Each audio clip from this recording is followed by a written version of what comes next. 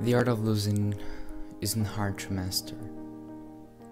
So many things seem filled with the intent to be lost that their loss is no disaster. Lose something every day. Accept the fluster of lost or keys, the hour better spent. The art of losing isn't hard to master.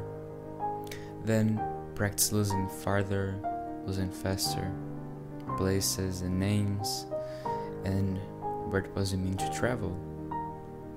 None of this will bring disaster.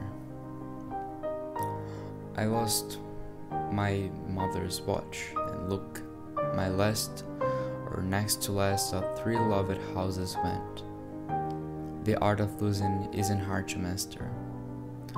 I lost two cities, lovely ones, and Vester some realms I owned. Two rivers, a continent. I missed them, but it wasn't a disaster.